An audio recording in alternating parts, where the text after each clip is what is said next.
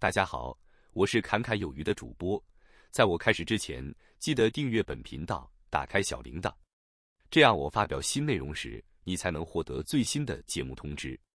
全球晶片行业持续低迷，叠加去年高基数影响，台积电连续第二个季度利润下滑，但在 AI 需求支撑下，营收利润好于市场预期。晶片代工龙头台积电日前公布。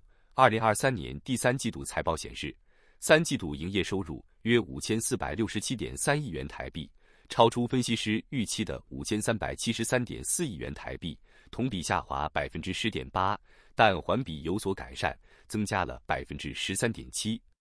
台积电三季度净利润两千一百一十亿元台币，超出分析师预期的两千一百六十六点一亿元台币，去年同期为两千八百零八点七亿元台币。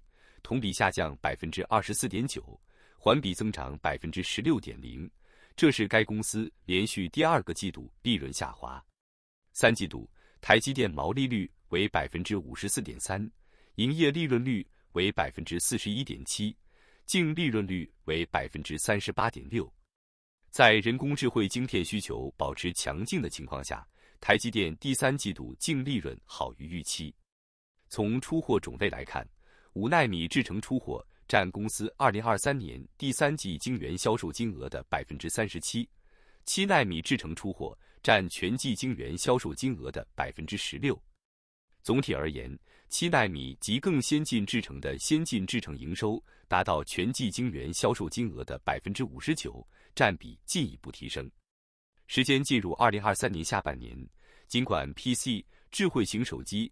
和消费电子市场已经出现触底反弹的复苏迹象，不过业界担忧复苏进度将不及预期，市场将不会迎来非常强劲的回升动力。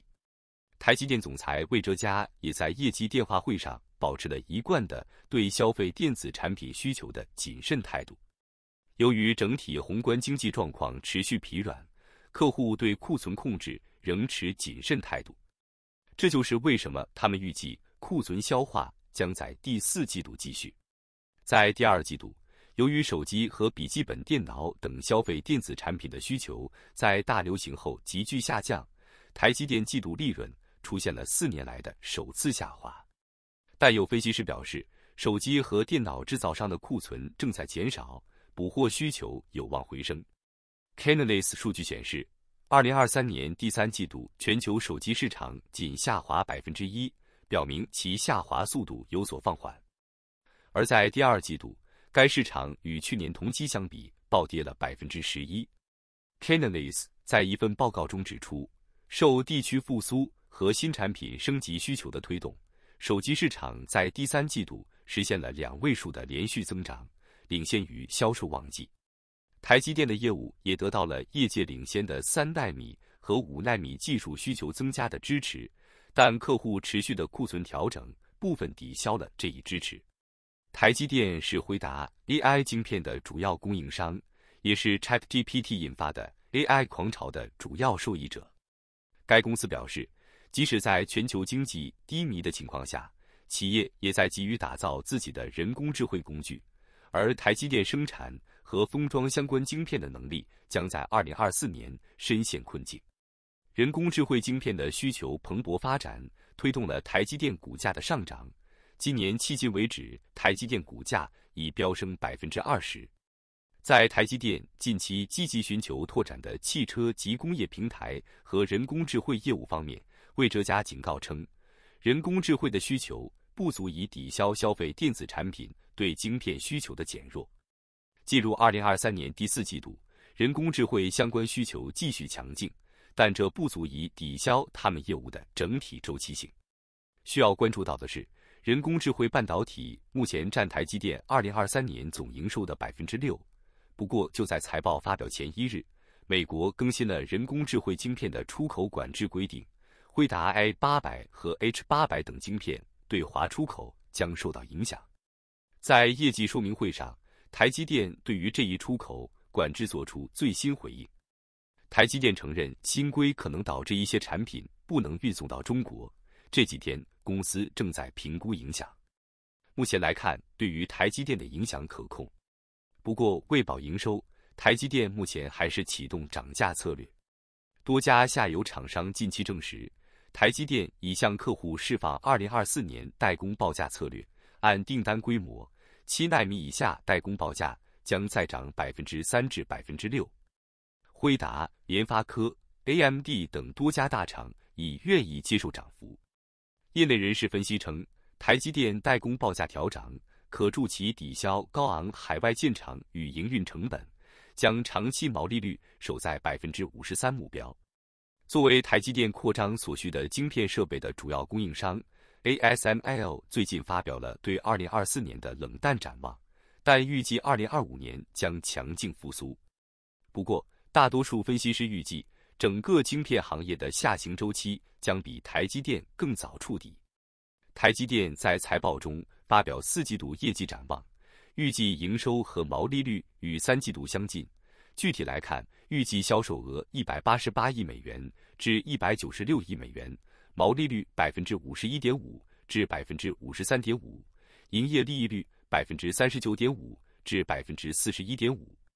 伯恩斯坦分析师 Mark Lee 在一份研究报告中说，台积电有望在二零二四年和二零二五年恢复增长，部分原因是为英特尔生产一些晶片。这家美国公司最新的个人电脑晶片组 Meteor Lake 将于今年年底上市。英特尔指望台积电为其生产绘图处理器、人工智慧加速器和晶片组。野村证券分析师 Aaron Jan 也表示赞同这一观点。他说：“他们离半导体下行周期的底部已经不远了，大多数晶片开发商的库存调整应该会在本季度结束。”在业绩说明会上。魏哲家透露了台积电海外建厂的最新进展。他表示，台积电计划于二零二五年上半年在美国亚利桑那州开始大规模生产。台积电日本工厂计划于二零二四年底开始大规模生产。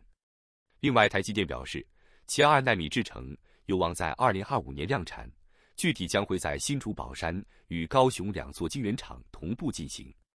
同时，他还透露。台积电有望在二零二五年量产二纳米晶片。对此，Synopsys 也表示，其客户已在台积电二纳米工艺上流片了多款晶片，同时对类比和数位设计流程进行了认证。新思科技称，台积电二纳米 N 二纳米片工艺的数字设计流程正在实现多次流片，而模拟设计流程已在多个设计启动中采用。预计将于二零二四年提供样品。据了解，台积电的二纳米制程工艺将放弃传统的 FinFET 电晶体工艺，转向 GAA 全环绕闸极电晶体架构。台积电的版本也命名为 Nanosheet，相较于 N 三 E 工艺，同功耗下效能提升百分之十至百分之十五，同效能下功耗下降百分之二十五至百分之三十。但电晶体密度提升仅百分之十至百分之二十。至于价格方面，二纳米制成的晶圆代工报价可能将会由三纳米的两万美元片进一步上涨至二点五万美元片。另外，作为二纳米制成技术平台的一部分，台积电也在研发背面供电 （Backside Power Rail） 解决方案，该设计最适于高效能运算相关应用。而根据台积电的规划。目标是在二零二五年下半年推出背面供电技术供客户采用，并于二零二六年量产。随着台积电持续强化的策略，二纳米及其衍生技术将进一步扩大台积电的技术领先优势。那么，本期影片到这里就结束了，感谢你的观看，期盼能与你产生共鸣。侃侃而谈，阔论有余。最后，请你点赞、订阅。这是对本频道最大的支持了，谢谢。